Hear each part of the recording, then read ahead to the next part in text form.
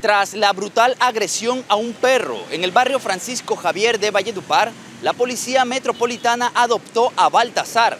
El canino recibió atención veterinaria al ser encontrado en condiciones de abandono y enfermedad. Es de anotar que el agresor del canino, identificado como Julián Antonio Guerrero Pereira, fue dejado en libertad tras ser judicializado.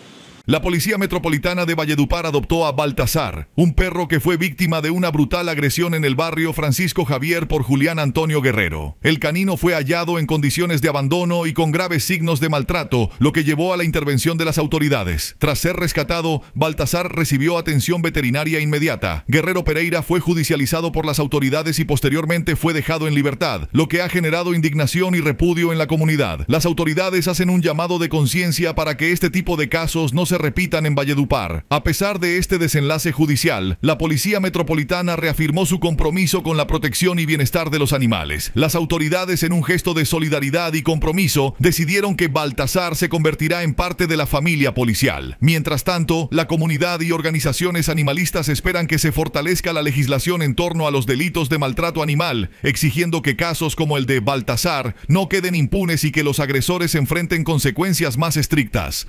En Promociones El Poderoso.